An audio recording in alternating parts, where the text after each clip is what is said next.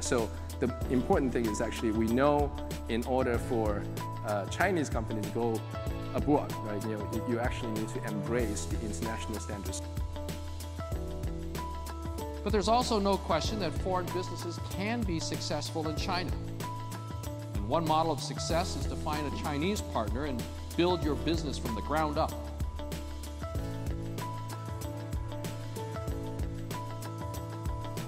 And that's why we are very hopeful about the future of China's internet, especially the mobile internet. You can't have an innovative society. You can't have the kind of uh, entrepreneurship broad-based without access to information.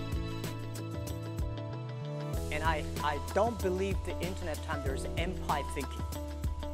I hate the empire. Empire thinking means join me or I kill you. And I don't like the model. I believe the ecosystem.